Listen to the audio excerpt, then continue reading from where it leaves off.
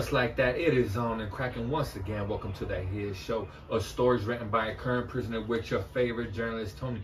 Wow, are we bringing in heat today, an exclusive? Wow, for the first time ever, after years and years, Jason, bro, of, of people hearing you speak, man, now they can actually see you for the first time, bro. Jason, how are you doing, man? Man, I'm I'm doing, you know, I can't complain. I'm doing really, really good sitting here in this little cage very excited to, uh, you know, do this thing a little bit different, man. We've been rocking for a long time, so we're gonna rock it in a whole different fashion tonight, bro. That's for sure, huh? All right, absolutely. This is how we're gonna do this.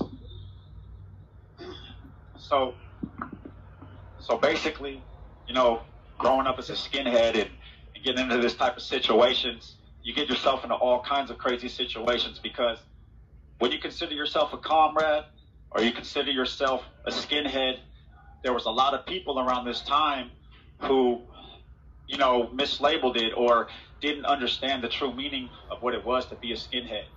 Um, it, it wasn't just a label or a title; it was a way of life. And for me, you know, we didn't carry it lightly, especially being a Peni skinhead. We were the top of the top. So you get these dudes that were very young. Hey, Tony, you went off.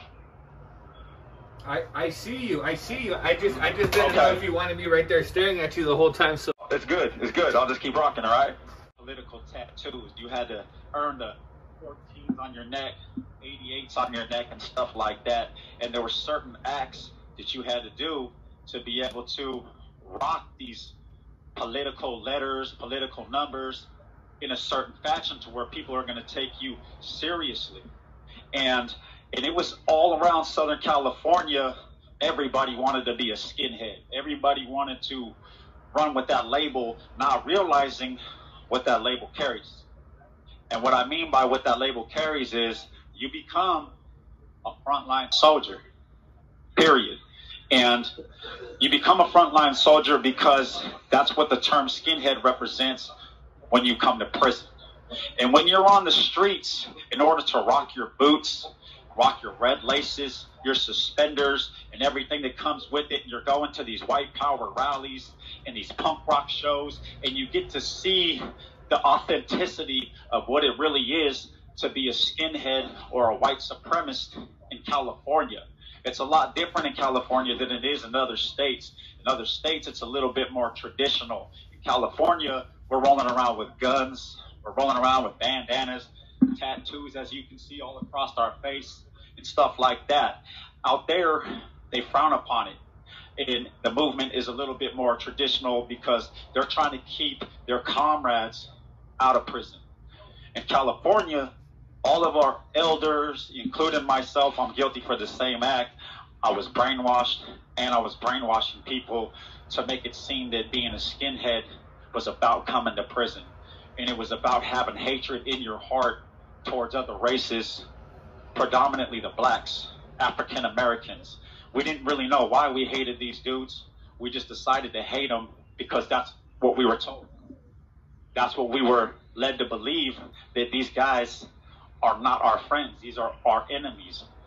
And we didn't know any details about them. We never shook hands. I went years not even shaking hands with a black man, just a Hispanic dude. It would be against our rules. It'd be against our politics to eat with these African Americans, smoke after them. But it was kind of funny. We can do drugs.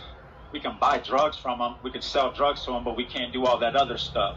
So all these little skinhead hate groups like Coors and uh, uh, American Front, Lads, SDSH, they started recruiting mass amounts of numbers, and all these dudes wanted to become a skinheads. Then they get arrested and they come to California State Prison when they come to California State Prison, they find themselves in a real, real sticky situation, such as, for example, you show up into a dorm and there's about 90 something blacks because wherever you go in the state of California, it's a known fact that the white population is the minorities by a, by a long shot. You might only get 20 white boys that are on the yard. Half of them are going to fight, half of them are not. You're going to sit there with about nine dudes that you can really rely on every one of them 90 black dudes are going to get off. So you might find yourself walking into a dorm where you have to get off on them. You got to riot. And, and that's when you see a true skinhead's heart and see the distance they're willing to go in order to rock that label. Now it ain't so cool to be a skinhead. And being a skinhead, just like the Northerners, have a really high turnaround rate because of the politics and the pressure and the standards that you have to look up to. It's real, real brutal. That would be the best word for it. So it didn't matter whether it was a level four, level three, level two. It did not matter. Being a skinhead was a skinhead, and you had to act accordingly. And At one point, around 2006, 2005, 2007, 2008, we were running a no hands policy among all skinheads nation in, in the state of California, statewide. It was a no hands policy. So if we were getting off on people, it was going to be with a knife or a slicer, period, or we were going to discipline you accordingly among our own. And only a skinhead can touch a skinhead. Just a regular white boy cannot touch a skinhead. A skinhead will set trip automatically and they will rally up the comrades and they will smash on every white boy. It didn't really matter. So there was rules and regulations to that stuff, which takes me back to Chuckawalla State Prison to a few comrades of mine that I knew. One of them's name was Dozer, who happened to be my old cellie. Another one were skateboarding crackers.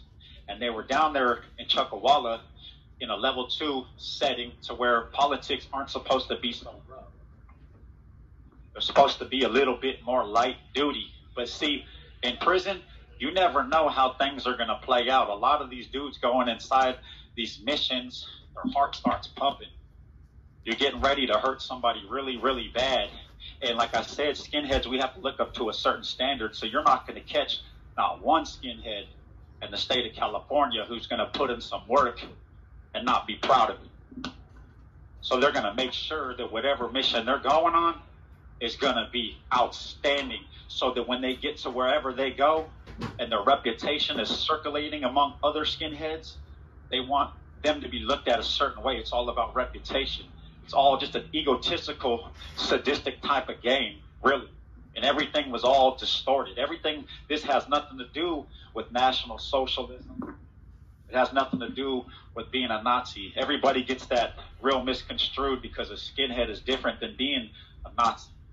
A white supremacist is different. Everything is categorized differently with different rules, different ways of life. But just being a skinhead, you have to have that hate in your heart. So these dudes were down there and something came up or an individual needed to get hurt. There was rumors going around that this dude person. Not only that, there was rumors going around that he was dating someone of another race. It was an African American. And number one rule is that's completely unacceptable. You will be lucky to even survive a hit you will be lucky to survive a hit if you become a race traitor. And that's what the comrades are going to label you as. They're going to label you as a race traitor because that is a now you are deemed an enemy of all comrades, and your name will be circulated among all comrades, and you are going to be banished from the society in the movement of white supremacy. Hey, Tony, we're going to have to. We have 30 seconds left. I'm going to have to uh, re-hit you up and do the last 15, all right? So, you know, the, the last thing you want is to become an enemy of your own movement. That's the last thing that you want. So, immediately off the top, these dudes are going to target you, and that's exactly what my comrades did. They ended up targeting them. And the way that they did this is they're going to find an individual usually the leader and who's going to take leadership and how they're going to get the job done. Okay, so when you become a race traitor, that's when that's when the hatred starts pumping through someone's heart. That, that's when that hatred really, really starts riling up every soldier and skinhead right there on the card because they're going to start stimulating that woman and they're going to be like, get that race traitor. And it's like a spit in our face, like worse than being an African American. So kill that dude. That's what's going to come out of every dude worse. Kill that dude because he's a parasite and he's not worthy. And what would Hitler do? And this is the way that people would talk, bro. What would Hitler do? Me personally, I've never worshipped Hitler because I never really was fond of the research and studies that I did. But hey, I was a skinhead, so I rolled with it. I worshipped the movement. He was just a symbol of the movement for me. I had the hatred in my heart, but I, my hatred was just from me being stupid and lost in prison, and I was mad at myself. But these guys right here was the wrong ones to pick up the job for that dude, so they picked up the job quick. And my boy Dozer, he ain't no joke. That dude is just as lethal as anybody. So what they did was, is they ended up getting together, him and two other boys, and they decided how they were going to do it. And one of them was going to slice one of them and then they were just going to get rid of the, the weapon and then just start beating him down until the cops show up. They're just going to beat him down until they get sprayed, as a normal m- mission would do. But as long as you get rid of the piece, usually nine times out of ten, they're not going to get you for the actual murder or attempted murder because they don't have the weapon. So the way it usually goes down is you're going to have somebody who's going to his only position is going to be to just grab the weapon, take it, dispose of it, never be found again. They don't have the evidence, and now they can't prove whether or not these dudes are the ones who actually put the, the weapon on that dude's flesh. So, hello. Yes, sir. Okay. All right. It was like turning off. It was like turning off or something. All right. Let me keep rocking then. Yes, sir. So basically, this is how it goes down. So I'm not going to tell you which one of the three is the one that had the slicer, but one of them did. And this case right here went south for these guys. These guys were not doing life in prison. They were on a level two, just doing short terms until this mission occurred. But see, when you become one of these gangs, you become a part of this hate group or whatever you're trying to be in your aspirations, you put your whole heart into it. And back then, things were a little bit different. It really felt like we were fighting for a cause, but the cause was an illusion. But these dudes are heavy hitters on a level two, just happen to be on a level two, and God have mercy on this boy. So my boy is one of them. He is more of the type of person who likes using weapons because there's some dudes that don't like to use weapons. Stabbing somebody, slicing somebody, it just it's not for everyone. Okay, so if there's somebody who gets pleasure out of doing it, then they're gonna do it. So one of them boys took hands of the weapons and they decided to get it done. And the way that they decided to get it done was is they were going to catch this dude slipping at day room and they were going to try and attempt to pull him inside a cell and do it inside a cell so that nobody can see them and they can all just handle their business and then get out of the cell, close it however, and everybody makes an escape.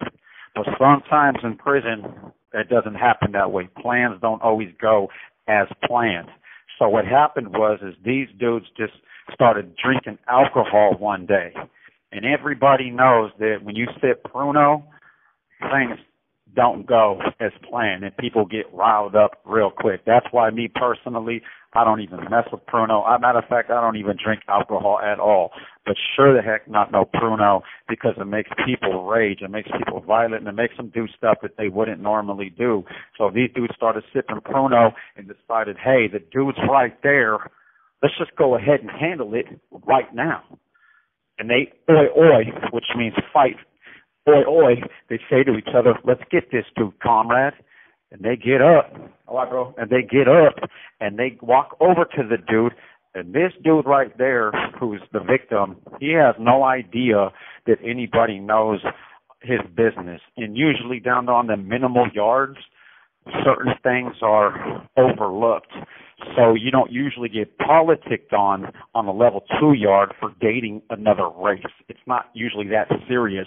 However, you get people that are white power down there, and it's just the wrong people, wrong time for your boy. And so he was over there oblivious to what was going on. They just roll up on him like some serious goons and hit him. And the person, my bro, is the one who hits him, and he hits him and he cut him on his throat. When they hit him on his throat, the dude immediately goes and grabs him to his neck and big old. There's two of my boys, crackers and skateboards. They're big dudes, and they just serve him. He's immediately on the ground, and they start stomping this dude. Turns into a three-on-one. They ditch the piece. They ditch the piece the weapon is completely disposed of, and they're beating this guy, and they're going and going and going till the cops get sprayed. when you're in these kind of situations, you don't even realize how bad it's really getting. You just start going and you're not paying attention to whether the dude is. Li- This call and your telephone number will be monitored and recorded. whether he's still breathing or not. So they were just pummeling this dude. The cops come in and they spray them, hit him with the batons, and they secure them. But remember, they're drunk. So they're not noticing how bad the damage is, and they're screaming, "Oi, oi, that's right, comrade!" and all these other obscenities to the to each other, like, "Yeah, we did that. We just accomplished that mission." Because all they care about is for the comrades to be proud of what they did until everything unfolded. And what happened was, is the dude didn't wake up. He ended up having concussions, severe, fatal concussions to his head, and he died. Next thing you know, these dudes are in the hole for murder. They were doing like 16 years with half, two years with half, three years with half, and now they're in the hole for murder. Then the DA, the Riverside courts, pick it up, a murder. Now it's going straight to the counties, and they get transferred from Chuckawalla Hole to the county, facing murder, life sentence all three of them. And what happens is the older one, who decided to feel responsible for what happened, took the rap off their hands for his little comrades to get a better deal. And that's what happened. So he he ended up signing for an extensive time so that the other ones can get decent sentences and that's what happened. But let me tell you something. Coming in on a 16 with half and ended up turning that into another 10 years into a decade. That's what the, that's what people were willing to do back then. But see, my point of this message is is that's what people thought it was to be a skinhead. That's what people were brainwashed to believe that you had to do in order to be cool, in order to have credibility, in order to be high fived, sieg heiled, to be accepted. That's what they thought. And in my opinion, well, that's not the way to think. You don't want to be that. And there ain't no love and there ain't no real comrades because comrade is translated into brother in arms. Because if you're real brother in arms, you try to keep yourself out of trouble and not get yourself into trouble. And you don't hate people just for the color of their skin. You don't have you don't want to have hate in your heart for anybody unless they do you wrong. That's on you. But to hate somebody for the color of their skin, that's something that's complete completely unacceptable in my opinion. So thank you for everybody who's watching it. I hope you enjoyed another hit that we just produced. hey Tony. Hey, this one was a banger.